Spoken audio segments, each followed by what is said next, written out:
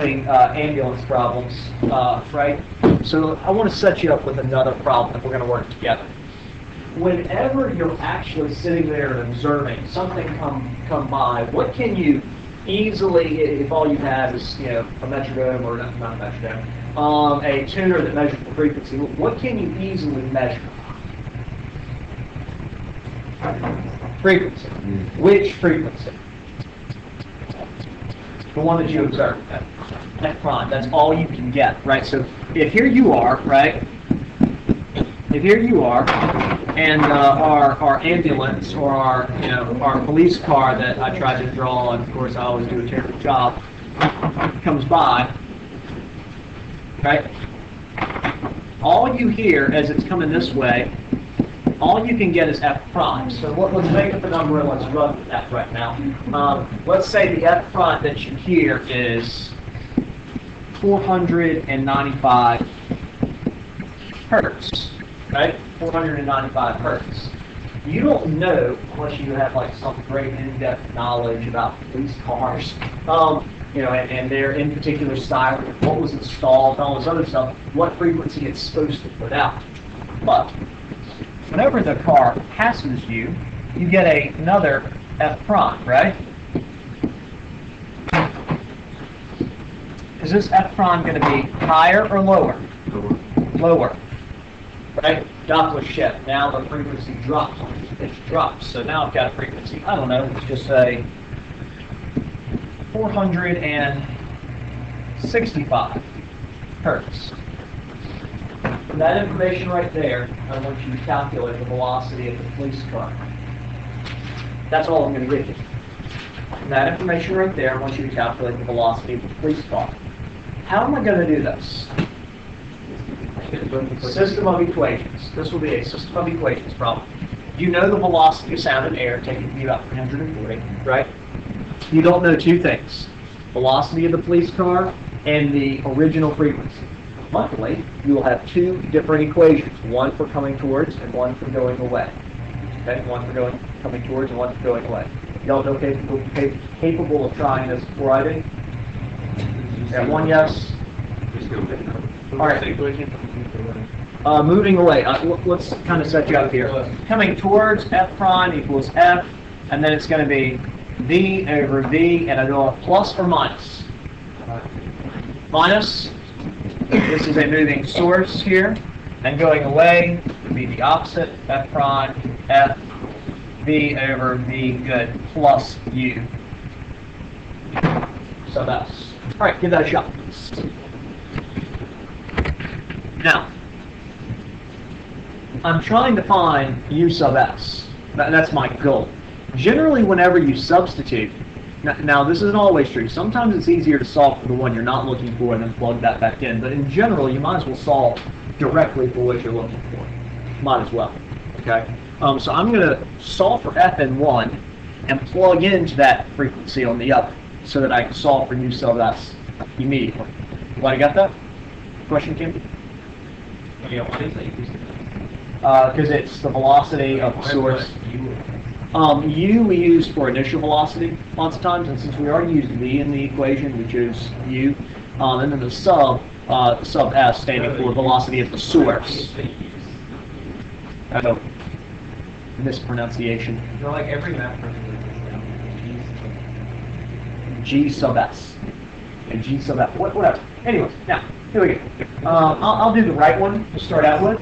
To get F by itself, You so plus you be and so is not- oh. Yeah, what a stupid man.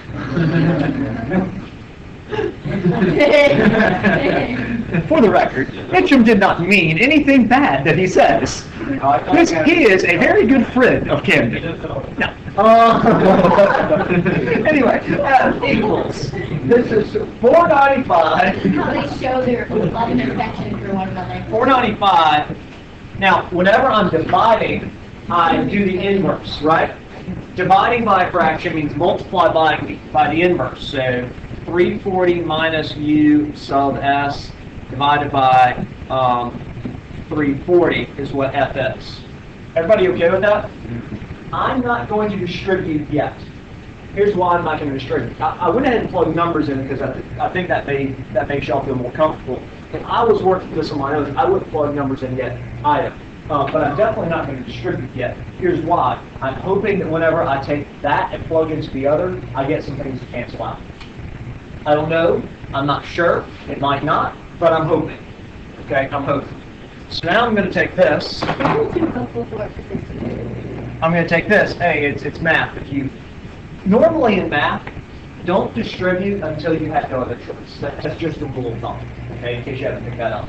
Don't distribute, don't FOIL, don't do all that until you have no choice. You have to, because lots of times in math problems, things cancel out, and the only way you see it cancels is if they haven't been FOILed together, right? If they're still factor factors, factors cancel. Okay. Why, four ninety-five multiplied by, is it like divided? Um, yeah, let, let, let me come back. I kind of skipped over it.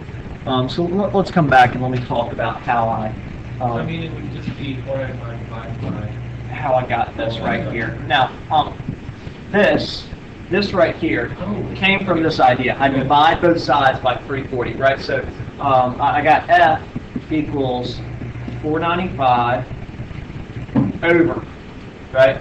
Over 340, 340 minus U sub S. And whenever you divide by a fraction, right, you are doing the same thing as multiplying by the inverse. So take the inverse of this guy and multiply, and you get him, right? I get him. I'm not worrying about distributing this guy in. Um, if you need to see this, you know, as fraction divided by fraction, you know, that's 495 over 1, if you will, over 1. So I'm gonna, I'm gonna come over here and I'm gonna shove him in. Now I got 465, plugging him in here equals 495. 495 times 340 minus u sub s over 340 times 340 over 340 plus u sub s. And it looks like me not factoring in is going to pay off and trying to simplify down. What cancels here? Yeah, 340 is canceled. Everybody see that? They cancel out. One in the denominator, one in the numerator, they're being multiplied. So I get 340s out of there. That's nice. Okay? Um, so working another line down here, that's going to give me 465 over 495 equals 340 minus u sub s over 340 plus u sub s. Yeah? Now, left-hand side, that's just a decimal, right? That's just a decimal. Um, the right-hand side, there's not really any more simplification I can do right there to try to get things to cancel out. Plus and minus, it's going to mess everything up. Okay. Um, someone go ahead and give me this left-hand side from your calculator as a decimal. Let's just go ahead and let's get to decimals because fill up to make some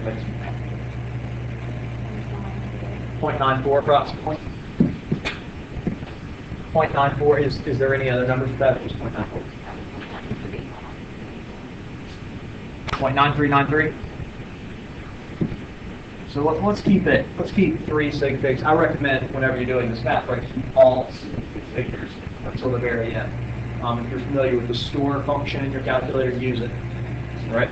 Equals 340 minus u sub s over 340 plus u sub s. Next step, multiply by whatever's in the denominator. So 0.939 times 340 plus u sub s equals 340 minus u sub s. Right? Here I actually do want to distribute. Here I actually do want to distribute.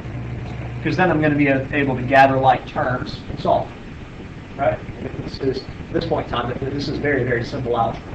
Right? So 0.939 times 340, please.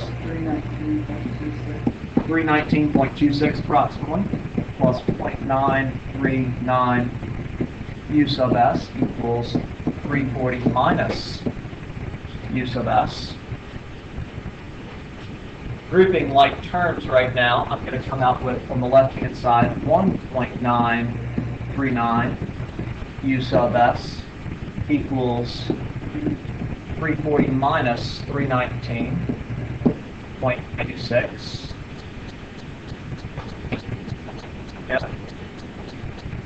Thanks, Tractor 5.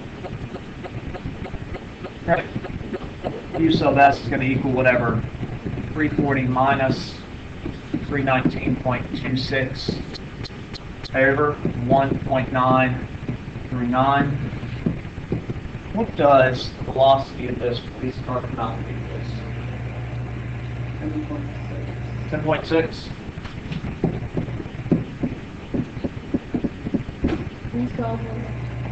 Correct? meters per second. Is that what everyone's coming out with? Yes? Story, um, 1.06? Uh, Uh, yeah, I don't know where that, where that went off. Yeah, 10.6. All right, now, um, that's just using out, that's just using out, right? Uh, it doesn't take, uh, yes, this takes brain power. So let me pull back from what I was gonna say. This takes brain power to do, but the main brain power that you gotta use to not get scared is thinking back to seventh grade or eighth grade whenever you learn this stuff, right? You know, maybe, when y'all do system of equations, nine percent? You know, that's like the most recent thing in this, otherwise it's very, very basic algebra. Maybe some simple information. Okay, yeah, but otherwise, it's very, very basic algebra, right? Um, so the main brain power you have to use here is just not breaking out. Now, let's actually use our brains and think about physics and make, and make this problem even easier. Let's come back up to the actual picture. Let's come back up to the actual picture here. Now, if this police car is going at constant velocity, like we have to assume, he shifts it, his frequency gets shifted up whenever he's going towards, and down whenever he's going away, the same amount. Does that make sense? Like if frequency is shifted up by 20 hertz whenever he's coming towards, whenever he's going away, frequency is going to be shifted down by 20 hertz. Yeah? Everyone get that? We can solve for f without doing anything here the frequency of this police car is going to end up equaling whatever 495 minus, good, 465 divided by 2 is. That's half of the difference, or the average between them, right? You, you take the entire area, right, the entire range, and you cut it in half. He goes, uh, give me this number, please, for F. F equals what?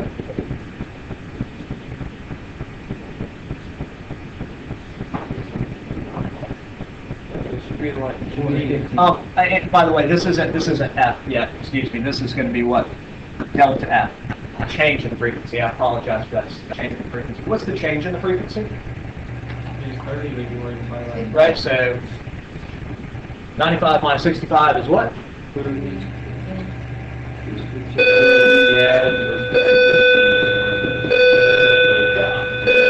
Delta F equals 15 hertz, right? So now check this out. What's happening here is from some F, F equals, right? Whenever I'm coming this way, I, whenever I'm coming towards, I add 15 hertz, right? I add 15 hertz. And whenever I'm going the other way, I subtract 15 hertz. Does this make sense? You didn't have to go with, you know, the two subtract lines. You can just look at it, right? Just look at it. So what's F going to end up being here? 480. So how do we just? But that's assuming that, that your two measurements are equal distance from each other. The beauty behind this is distance doesn't have anything to do with it. The equation for Doppler effect only has to do with the velocity. Now, how far you are away will affect how loud it sounds, right? The amplitude. But the frequency shift, the frequency shift is only due to the velocity, which is almost because you're used to, your brain so strongly focuses on how loud something is, right? It almost feels counterintuitive, okay? But it's just because your brain locks in on volume so much, about not pitch as much, okay? Um, it's only about the velocity.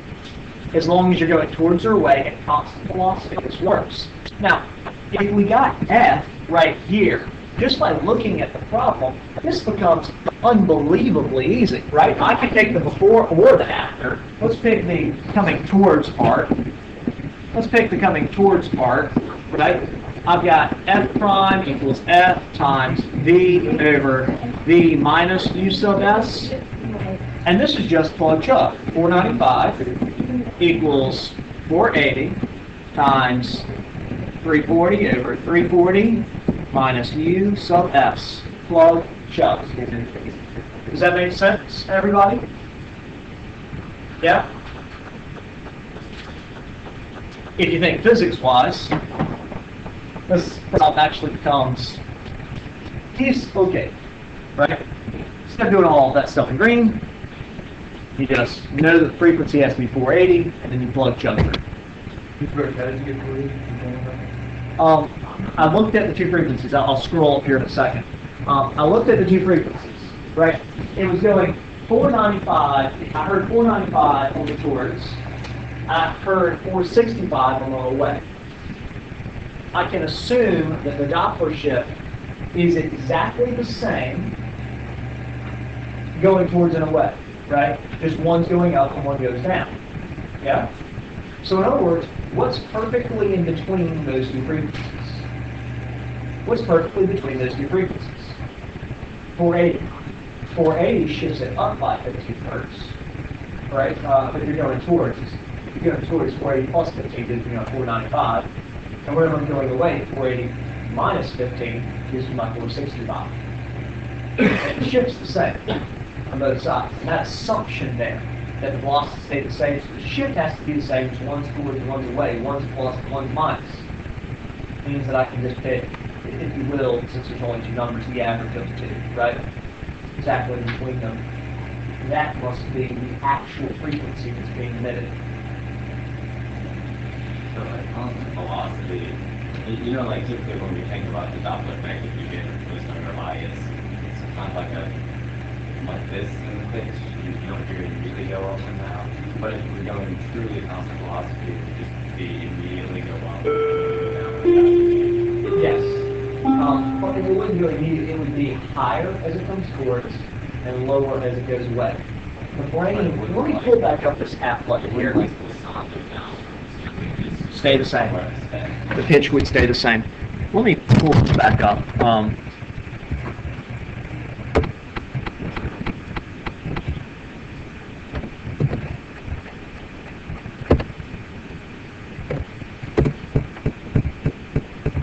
Right, um, th- this is the one that, this is the little applet with the police car coming by to try to simulate this, um, if it loads up for me. Um, the brain locks in so heavily, so, so heavily to volume that we almost assume that if the volume goes up, the pitch went up. Right? You even do that with your voice. Whenever you're doing it, you know, as it comes, and you, you do it whenever you talk about a, truck coming by or something, right? You go, right? And then the pitch actually kind of goes up and down, and with volume. In reality, higher. The volume gets louder as it gets closer, right? And the volume gets softer as it gets farther away. But that pitch right there, the pitch remains the same for, and then changes remains the same afterwards. The only time it changes is that moment that it passes. The moment that it passes. Pitch, um, how, it, right, pitch is a, uh, is a human idea. It is a human idea of how high, if you will, and once again, these are qualitative terms, how high a note sounds or how low a note sounds. So a piccolo has a very high pitch, right? All those notes are very, very high. And a tuba has a very, very low pitch. Right? Um, what it has to do with physics-wise, what we like quantitative measurements, is frequency. The higher the frequency, the more high-pitched we are about to be. In other words, the sound is, right? The lower the frequencies, the more low-pitched they are, the more like the bass that it's through. So I was gonna like, this Doppler thing, is it like what they're using like that Doppler radar they have? This is exactly what it is. Is that what it is? Exactly what it is. So, with that said, let's solve another type of problem. Coming with light. Now, Doppler radar, Doppler radar uses radio waves in the form of light, right? Beam spectrum uses radio waves, sends it out, right? Hits the cloud, bounces off the cloud, comes back at you. Okay? They're able to measure the speed of the clouds based upon how fast, right? They're also able to get shape of clouds based upon that also, and then a bunch of other details. But never, never mind that for now. Um, first off, what I want to talk about with light. Whenever you get into light, the equations that you have really begin to break down. They really, really begin to break down. I mean, these little, you know, v over v minus u sub s. I mean, goodness gracious. Now the is at 340 meters per second. It's three times 10 to the eighth. Okay, it starts to break down. Instead, we're going to use a different equation. We're going to use delta f equals v over c times f.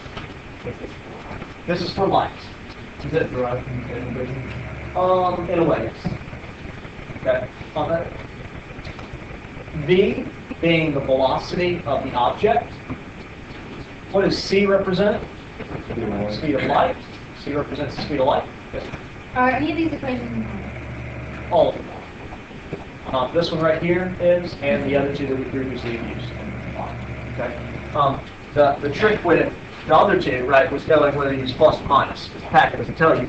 The trick with this one here is realize that is not f prime on the left-hand side. Is delta f. That is the change in the frequency. Right? That is the change in the frequency.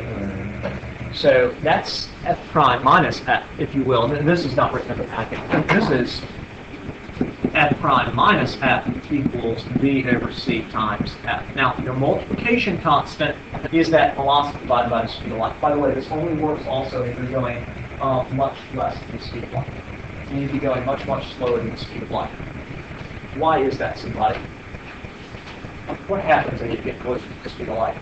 Frequency being the same as your frequency. All right, it would there, but this equation actually breaks down. What breaks this equation down? Time changes. Oh, Some- Something called relativity starts occurring, specifically special relativity starts occurring, where time slows down as you get faster, right? And distance shrinks as you get closer to the speed of light. And that's just weird. So the Doppler effect, now we actually have to throw in this idea of special relativity into these equations. Okay?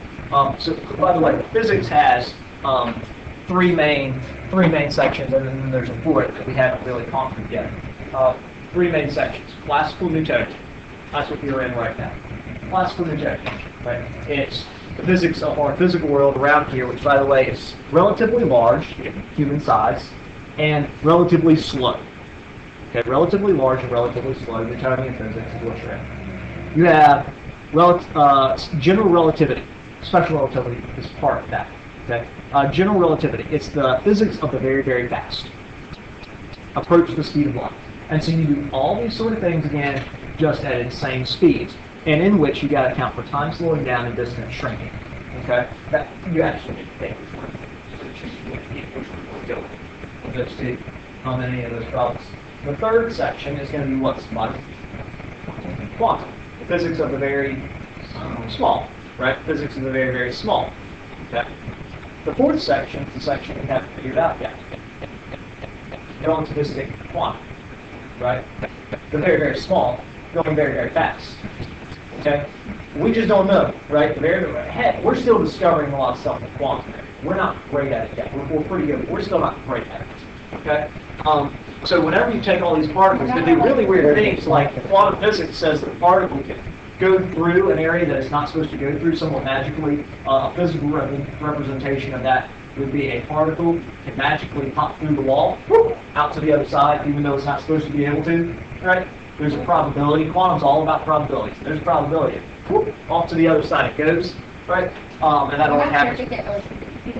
Perfect at illustrating either. Yeah, yeah, we're not great at that either, but So there's um, a chance I could go through. there's a probability you can go through that wall. The only problem is you have a lot, a lot of particles. There's a lot, a lot of particles there, and uh, the more particles you have, the probability starts going down to zero. So there's zero probability. But anyway, um, Keep keep running. keep doing it, keep going. The only way that you would be able to get, the only way that you can make probabilities work out is take a human-sized person and get them to go through the wall, is to actually run at the wall an infinite number of times, right? If you do it an infinite number of times, you're able to cancel out the, uh, the almost zero probability, next to zero probability, right? And and you, sometime in the matter of infinity, you will make it through the wall. Awesome, right? I wanna do that. Let's start that. Now, what are the odds? Well, let's try. Uh, now, so this is all Newtonian. This is all Newtonian. Do not be mistaken. Stars in our galaxy expand at relatively slow rates. Relatively slow rates. 5% the speed of light, 10% the speed of light, no faster. If we start going faster, we're getting to 50, 60% the speed of light. This is a Newtonian physics equation. It breaks down. It breaks down. Just because we're dealing with light and stars and all this other stuff doesn't mean that it doesn't break down here. Okay, this is not relativity. Um, let me work the problem for you, and, and then we'll talk about um, we'll talk about some. more. So let's have a star here. Um, let's have a star, and you know my stars. They're, they're going to be terrible. All right. So I got a star, and I got a smiley face. I got Earth. No, no, no, no smiley faces on our stars. They're hot and burning, so they're not so happy. But the sun. Um, And that's what let's say that the star is moving away from Earth, going directly away You can just drop this past our. with a velocity equal to 0.05 c. 0.05 c. What does that say? 0.05 c. What does that mean? Five percent speed of light. Perfect. Five percent speed of light, which actually, by the way, leaving this in terms of c makes this equation oh so easy. Oh so easy. Five, uh, 0.5 c going away. Now, stars are mostly made of what? Somebody? Yes. What type of hydrogen gas? Hydrogen gas. Now think back to topic seven. Remember, every last thing, right? Every last object on our Earth, each element has its own unique emission spectrum, right? Remember emission spectrums? Yes, I hope so. Uh, remember, it, occurs when an excited electron drops down at energy level, and the very specific energy level it drops down, which is unique to each atom, right? A photon of that energy is emitted, giving us a very unique spectral line. Hydrogen happens to have a base wavelength that's emitted because it's emission, emission spectrum of, let's see here, uh, let's see, hydrogen, H, emits 6.56 times 10 to the negative 7 nanometers, naturally. Oh no, we're not there yet.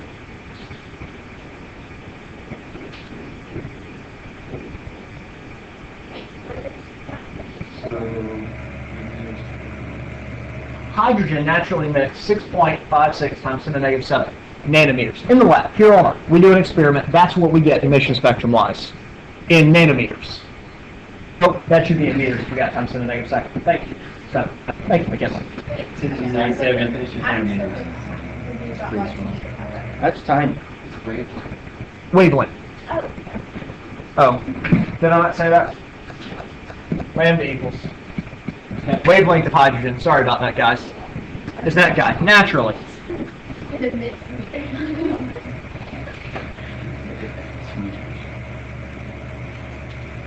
So now, with this setup right here, with this setup, I want you to find for me what wavelength will you, what wavelength are you going to actually see here on Earth? We know hydrogen naturally, right? Whenever we do it at rest here, okay, so no Doppler effect, at rest from the perspective of Earth. Um, we know wavelength hydrogen emits is about 6.56 times 10 to the negative 7 meters. Okay, um, that that would be 656 nanometers. What wavelength, let's make that more of an M, what wavelength will you actually see from the star? What wavelength will you actually see from the star? Now, first off, we have an issue. We don't want wavelength, what do we want? Frequency. We actually want frequency. So I need to get from wavelength to frequency. How do I do that? V Over. Yeah, V equals lambda F. That's uh, C equals my 6.56 times 10 to the negative 7 F, right? Isn't that funny? Oh, no, this is, this is just for light, right? This is just for light. We're trying to get the frequency of the light. Okay, we're trying to get the frequency of the light. So this is going to be 3.0 times 10 to the 8 divided by 6.56 times 10 to the negative 7 equals F. What is this frequency equal to? Yes? Uh, when you go like point oh five C, is that like, you mean like a star is actually moving? Yeah. The star is actually moving. Um, the star is actually moving. We'll talk about why. Okay. You explain a little bit more what that number is. What, which The number is? wavelength. Like, Wavelength. what- Is that light? Yes, yes. Um, we excite a hydrogen atom, it emits light, right? Occurs because the electrons dropping out of the flux. So we excite a hydrogen atom, it emits light, and a very, and it has a very unique emission spectrum. A very unique emission spectrum.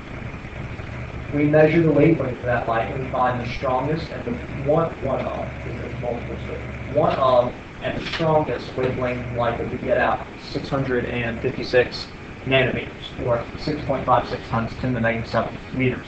Um, that means that this thing's emitting a frequency of what?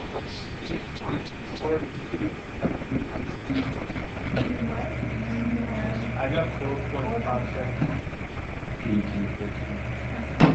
Uh-oh, conflict. I mean, this is just 3.0 times 78 divided by...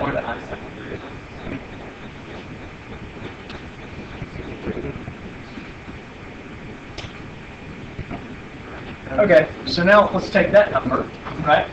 And let's shove into our equation here. Let's shove into our equation of delta F equals F times by V over C, right? Um, solve for delta F equals my frequency of 4.57 times 10 to the 14th. Now, this is why it's very useful to leave things in terms of speed of light. What is this? This is 0.05 c divided by c. C's cancel out, right? That's why it's so useful to leave this in terms of speed of light. Uh, that v there stands for the velocity of the star. Otherwise, we go with the velocity of light and how fast the wave is actually moving. Okay, so what is the delta F have to be? 2.287 times 10 to the 13th hertz.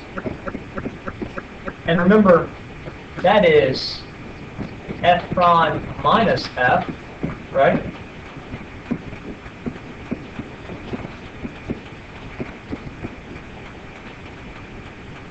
Yes?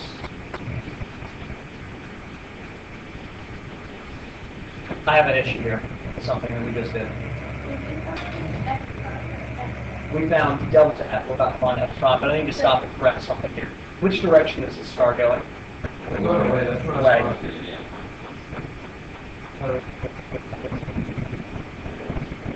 Negative.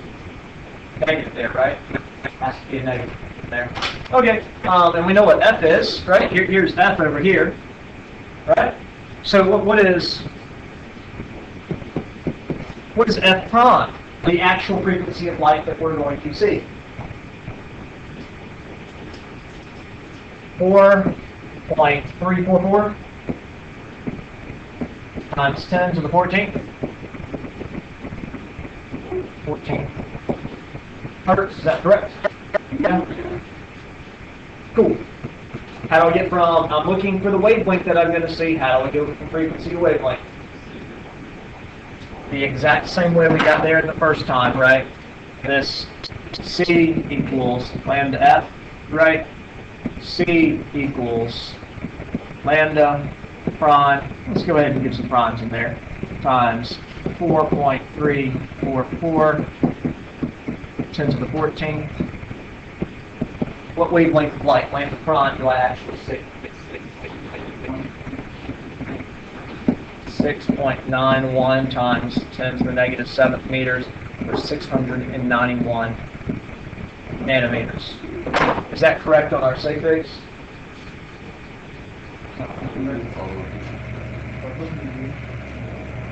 Ah, I got two sig figs right there, 0.05 sig. Right. So this becomes six, 690 nanometers. Which end of the spectrum was this shifted towards? The red or the blue? This was red shifted.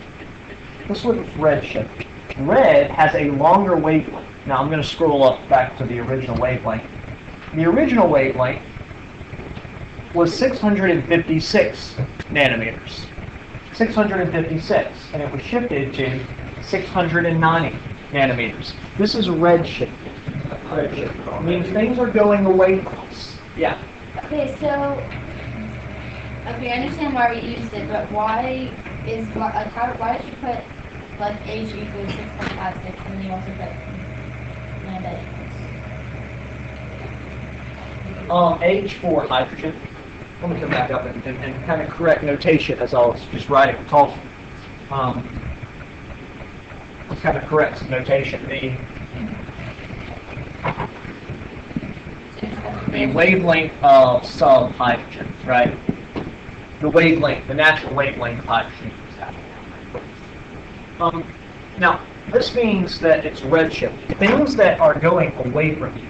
Whenever you look at the light they emit, it is naturally going to be, because of Doppler effect, shifted more towards the red. Shifted more towards the red.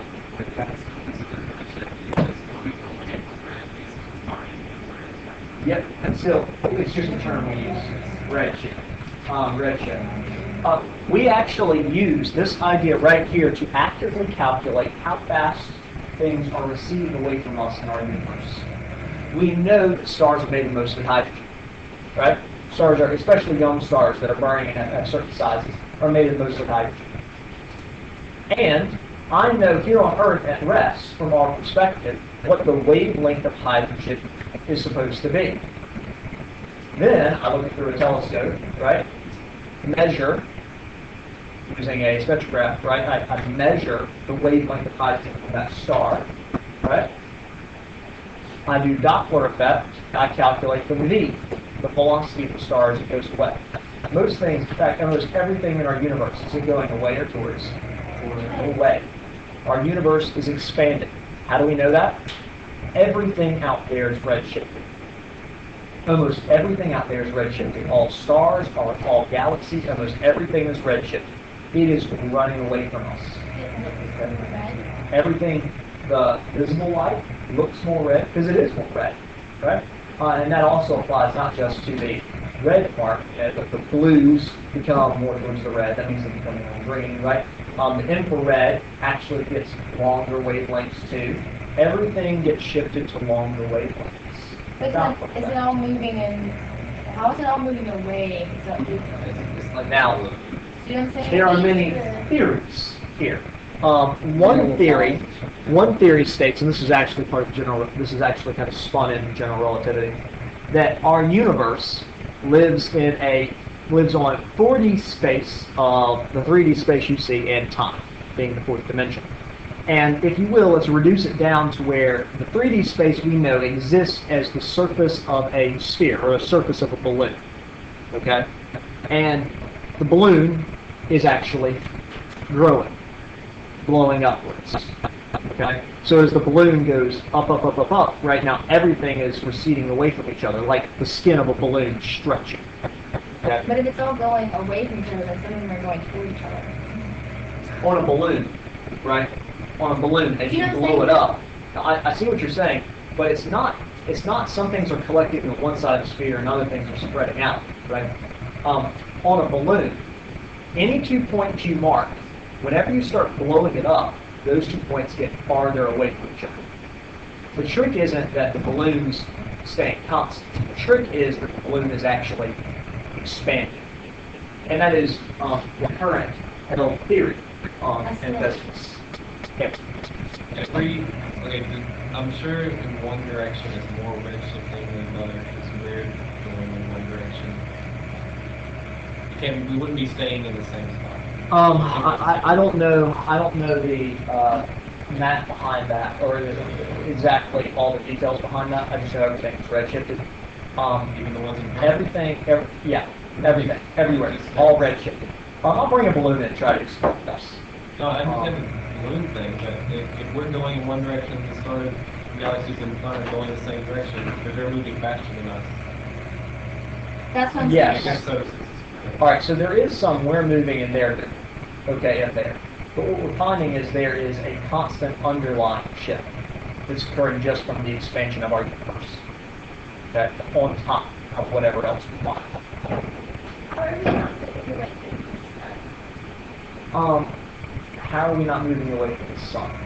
We will, we are, through this theory, we are. Um, but it's so slow when compared to the short distance. We're only able to tell when we're moving away from each other, right, whenever it's long distances that we're not having to use gravity. There's some other force driving the expansion in our universe. Gravity is losing right now. Okay? Um, current theory is that if the universe was able to exist forever and ever and ever and ever, all men, um, one of two things will happen. And this part isn't really a theory, this is just true. If the universe exists forever and ever and ever, amen, um, either you're going to keep expanding forevermore.